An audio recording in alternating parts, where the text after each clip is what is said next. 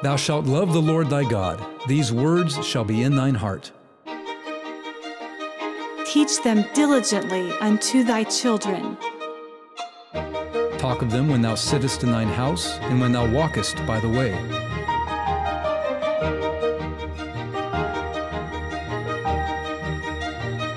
Bind them for a sign upon thine hand. They shall be as frontlets between thine eyes. Write them upon the posts of thy house. This is Families of Faith. And thank you for joining us today. This is Families of Faith. My name is Tim Rumsey. My wife Stacey is with me. This is episode number 28. Yes, we're moving right along. It's hard to believe we've been doing this. This means we've been doing it over half a year. Yes, this year's flying It has been. for sure. Time flies, as they say. yes. well, what's our topic today? It's me time or we time, which just sounds like, what is this all about? They'll have to find out. That's right. Um, before we start, we invite you to go to our website at pathwaytoparadise.org. There you can um, find the page for Families of Faith. You can contact us there or through our contact page. We love to hear from our listeners and our viewers and ask us questions. We don't have all the answers, but we'll do our best to find some good answers for you if we don't have some personal experience with your question. Um, if you're listening on the radio, you can also watch this and go to our YouTube page at Pathway to Paradise Ministries, and there you can find our playlist for families of faith. Okay, well, let's start with a word of prayer. It's a good place to start. We'll dive into our topic. Okay. Heavenly Father, we um, ask that you would guide and direct not only us, but those watching and listening as we go through this topic today. And um, time is important and it's limited.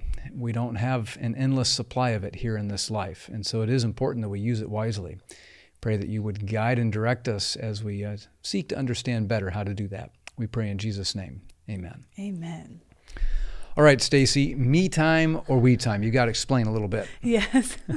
well, first, I must confess that this episode might have been born out of a little bit of frustration because our society is so focused on me. And so let's just give give an example of that. If you go to Google and you type in me time, um, this is some of the, the definitions that came up. Having me time means being present with your mind and body to recharge your batteries. You can spend it in various ways depending on what gives you energy. There's some other ones too. Me time is time spent focusing on oneself and doing things one wants to do, or the time a person has to himself or herself in which to do something for his or her own enjoyment. So yeah, we hear people say this, and maybe we've been guilty ourselves once or twice. Right? I need some me time, right? Or mm-hmm. time to myself. Yes, and I'm a mom of four, so I'm not saying that we shouldn't have alone time. You're not saying that. You need it. We we need it. very badly. I'm an introvert, right? I Yeah. so here's an insight into us. I'm introverted. I recharge, right, when I'm alone. And if I'm around people, too many people for too long, I'd start shutting down. It drains your battery. It does, and so I, I start looking for a cave somewhere to dive into.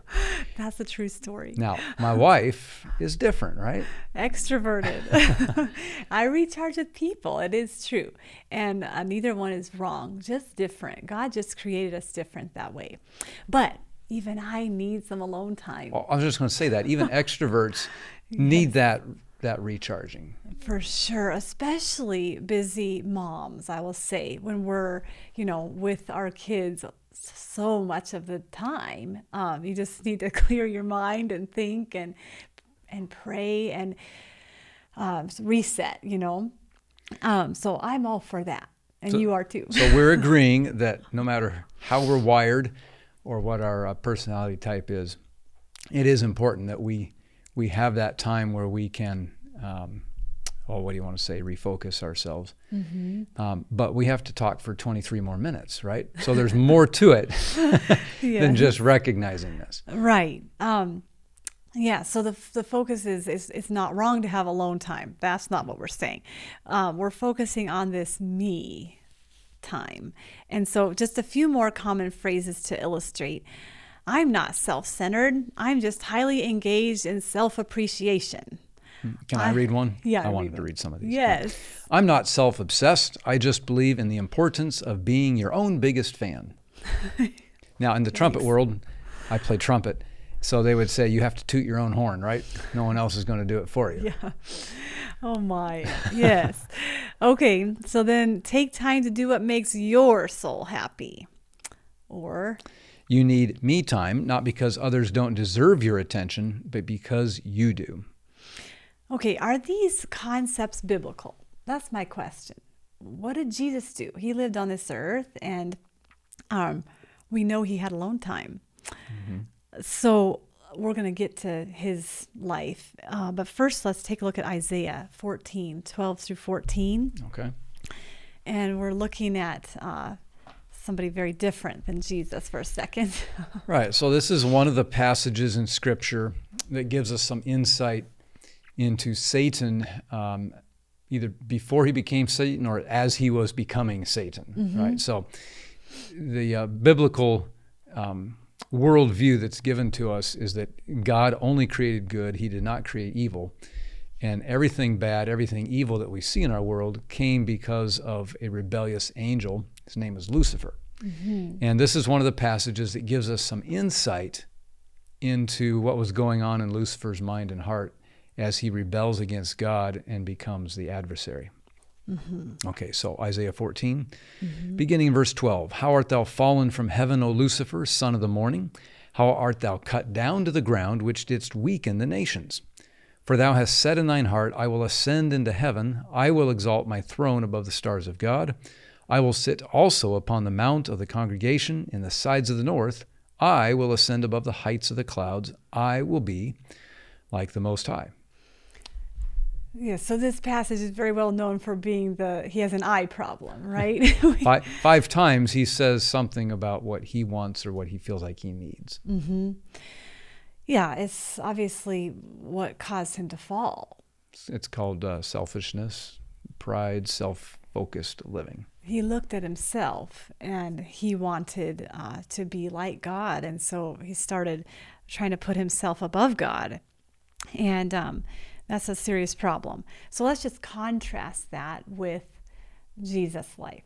Okay. And we're going to have a little competition Oh dear. just to try to get through these verses quick enough so that they get the point of Okay. each one. Okay. so So this is a speed drill, right? uh, we're going to try for that. So Matthew 14 23, go. Matthew 14, verse 23. I got it. Okay, me too, but you said it first, so go ahead.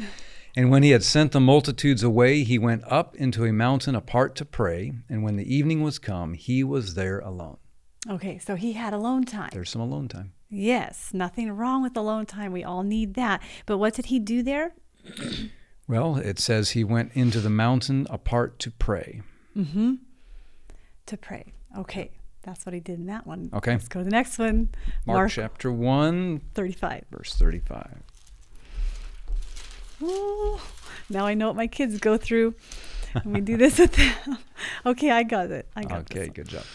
And in the morning, rising up a great while before day, he went out, talking about Jesus, and departed into a solitary place and there prayed. More me time for Jesus, or at least alone time. Alone time, not me time. We've Got to watch our phrases here, our Yeah. terminology. He goes to a solitary place, and again he prays Mm-hmm. Okay. Where where did he go? to a solitary place. Just solitary praying. Okay. Okay, Mark chapter 14, verse 32. Okay. I got it. Okay. I was turning as I said it. That's probably not fair, is it? That's all right.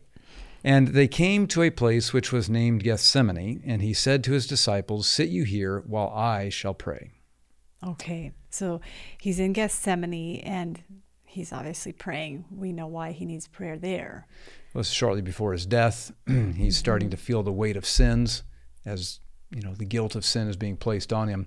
If we looked at other verses, we would see that Jesus leaves most of his disciples probably close to the entrance of the garden, and he mm-hmm. takes three of them, Peter, James, and John, deeper into the garden, and then he leaves them, asks them to pray, and he goes a ways further by himself. So he does end up alone here.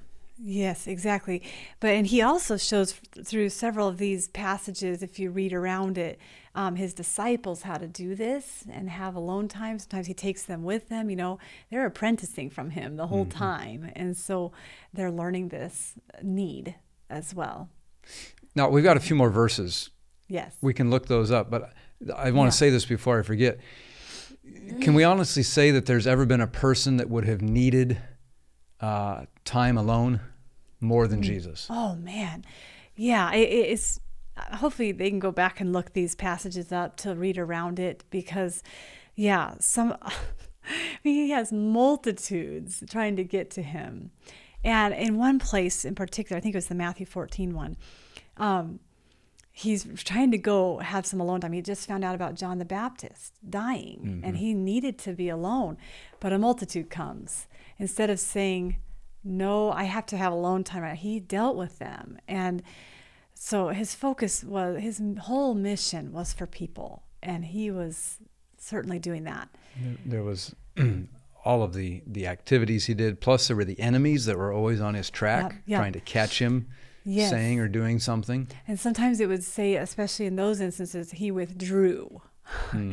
as if to say, you know, it wasn't his time to uh, to die or to, you know, so he withdrew, and then he had some alone time at that point. And then there's all the miracles. Yes. And I don't have any experience in what it feels like or what it takes out of you to, to perform a miracle.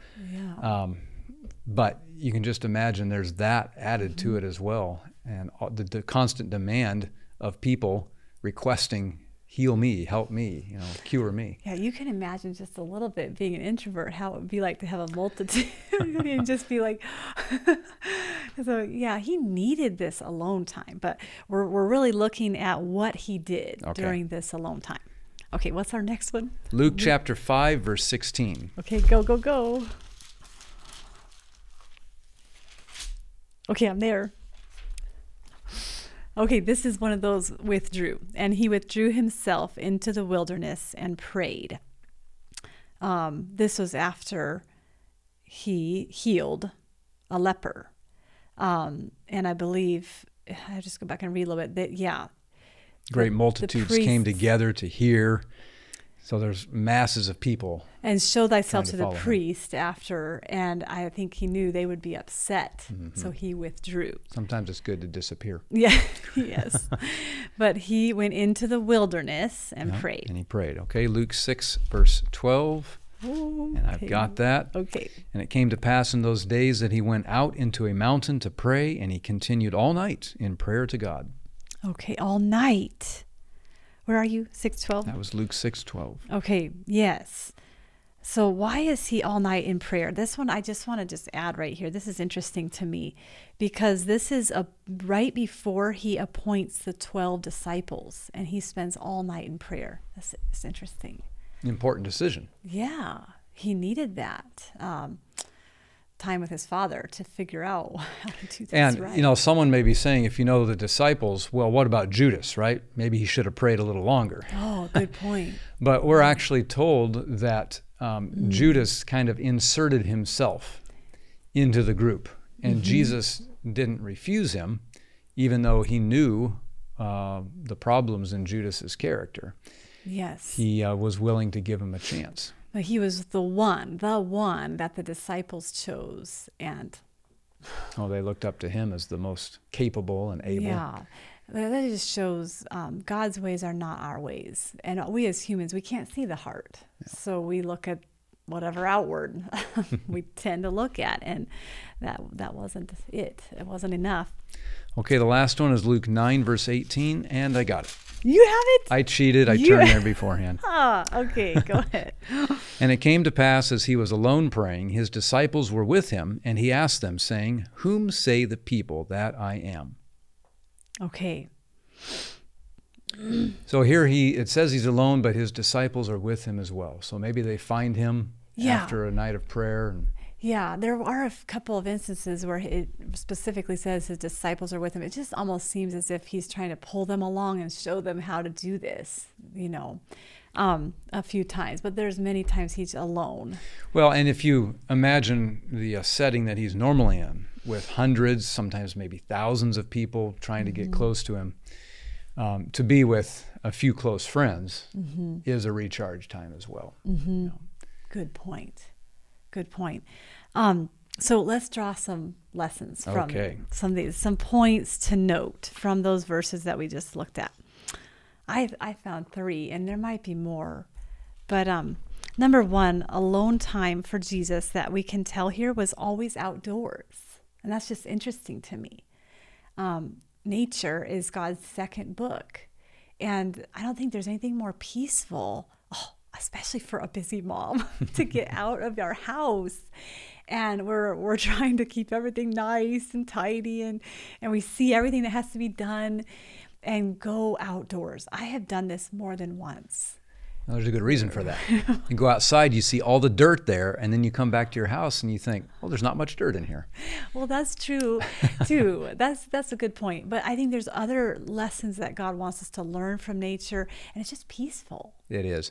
You know, so many of Jesus's parables were drawn from things of nature, and a lot of them mm-hmm. used a, a seed in some way. You know, a mm-hmm. seed is growing, a seed is being scattered.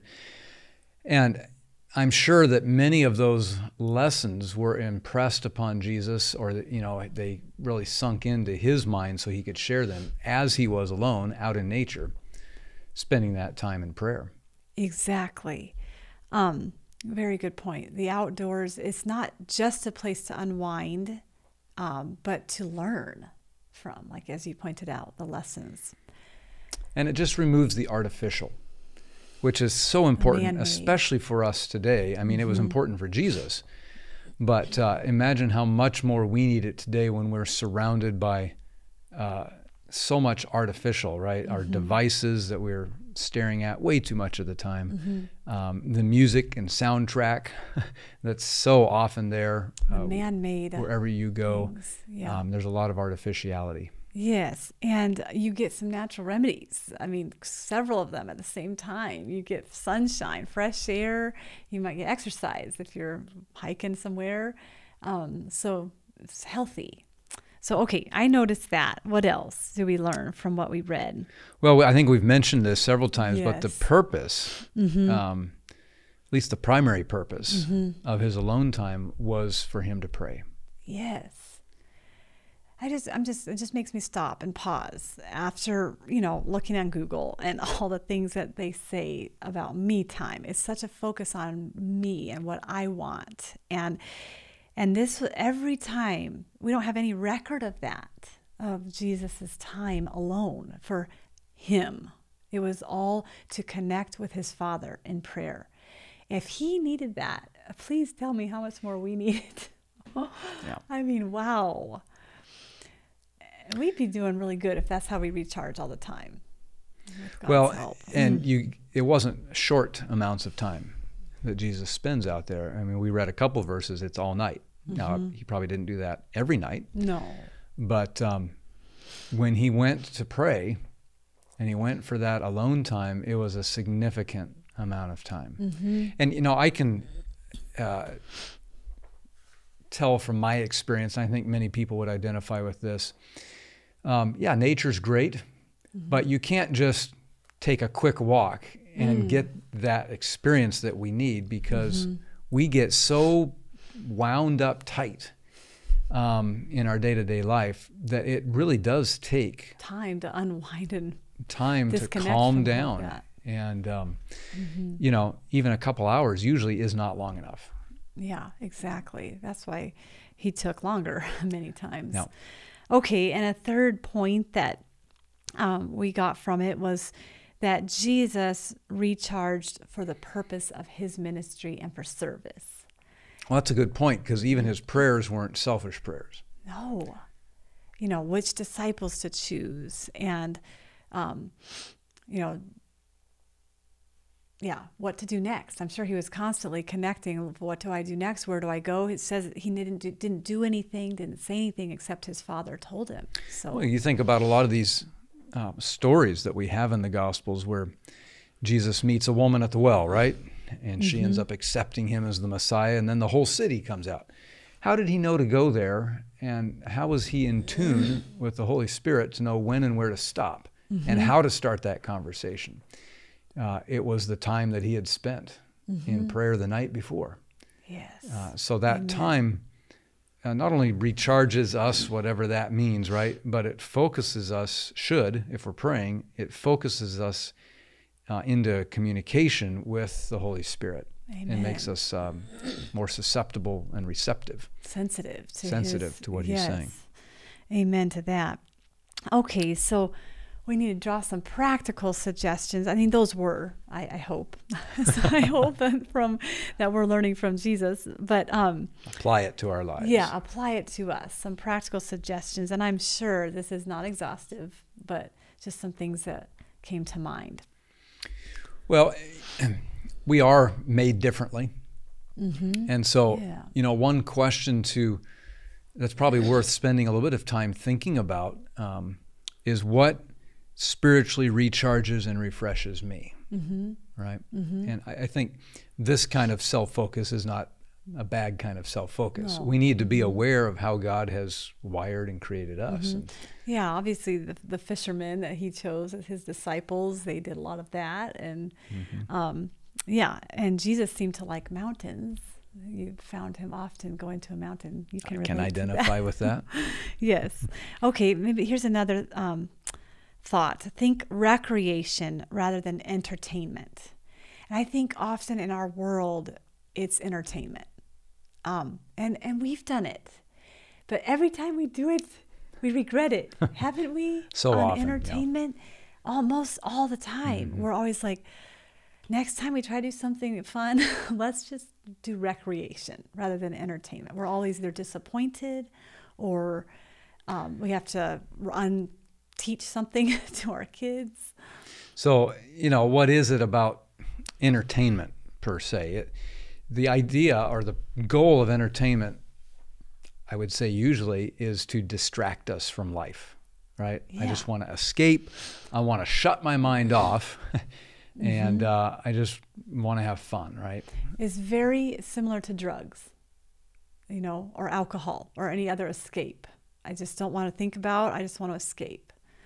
And um, much entertainment really uh, captures the mind and the senses, and we just kind of get absorbed in the experience. Uh, maybe try to live out through something else or someone else to help our problems go away or something. Yeah, well, know, that's the human way. the uh, uh, real draw of so many movies, Mm-hmm. right? You watch the the hero or the heroine, and they're doing something that you wish you could do, and Mm-hmm. it's just a it's a way of escape, really. And it, when you're done, all your problems and your issues and your challenges they're still there, and you're in no better place, maybe a worse place to deal with those than you were before. Yeah, exactly. Without tools. To and probably go- with less money. Yeah, that's true too. A lot of entertainment is not cheap. Okay, and so another one, uh, well, just follow Christ's example. That's what we've been talking about, looking at all these gospel um, encounters that Jesus we have. Um, so take his example. If he needed prayer and time outdoors, how much more do we as sinful human beings need that? Now, that's admittedly easier for some folks than for others based on where we live, right? Um, for some people, you can walk out your front door and you're out in the country and you're very close to nature. For others, it's going to be a more uh, deliberate uh, exercise to get out of a city somewhere or whatever the environment is. Um, but it is worth it. Even if you can't do it every single day, right? Make it something you do as often as possible. Amen. Um, and then pray that the Lord will give you a burden for souls so that you can be others focused. Make it your mission to win souls for Christ. It is our Great Commission, after all. What is the Great Commission? You can hmm. read it. well, we find it in Matthew 28, verses 19 and 20. Mm-hmm. Thanks for not making me rush, right? And it wasn't a race to find that one. Here's what Jesus said Go ye therefore and teach all nations, baptizing them in the name of the Father, and of the Son, and of the Holy Ghost, teaching them to observe all things whatsoever I have commanded you. And lo, I am with you always, even unto the end of the world. That really is an important point to pray and ask God to give us a love for other people, mm-hmm. because that is something that none of us naturally have. Mm-hmm. We might think it's love, but in our sinful condition, what we usually call love is really self focused somehow, right? What am I going to get out of this relationship? The kind of love that we, we need to pray for is the totally selfless type of love. It's a truly storing our treasures up in heaven. Yeah. You know, winning souls, people that will be in heaven as a result of your interaction with them, you pointing them to Christ. Um, and if you really want to get bold, pray like Jesus did. I'm sure he prayed this, right? Give me a divine appointment tomorrow. Yes, yes. And then help me to recognize it when it happens. That's the other important part because uh, there have been so many experiences in my life where uh, I've had an interaction or avoided one and then realized afterwards, you know what? I probably I totally mishandled that because that was probably God trying to, to, to line something up there. So mm-hmm. we need to mm-hmm. also pray that we are sensitive and recognize it. You know, just want to insert this really quick too. As a couple, you know, we are the family as a married couple before kids. And then when kids leave the nest, it's us again. So we need to have a mission. Our kids are our mission. I mean, that's our my greatest mission is to raise my kids for the Lord, but also have a mission for others um, that can give us purpose when the kids leave the nest too. It, it, it, happens, right? People start drifting and not mm-hmm. sure, especially probably the mom that stayed at home, maybe. Mm-hmm, mm-hmm. What's my purpose in life now? Mm-hmm. And um, there's yes. no need to feel that way because there no. are plenty of other missions the Lord that can have for you. can do as a couple. Yeah. Okay. Stacey, our title. Me time yes. or we time? Yes, we need to come back to that, don't yeah. we?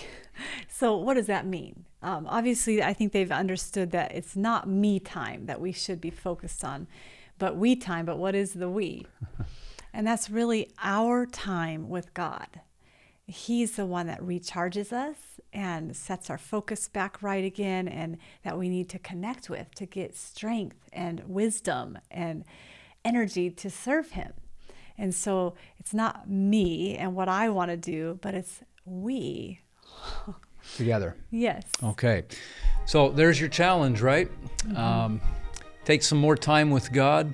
Uh, be deliberate about it. Ask Him to help you, and uh, He'll answer those prayers and He'll send you blessings as a result. Thanks for joining us today on Families of Faith. Hope that you'll join us next time and keep building your family of faith every single day. Families of Faith is a production of Pathway to Paradise Ministries. Find us online at www.pathwaytoparadise.org.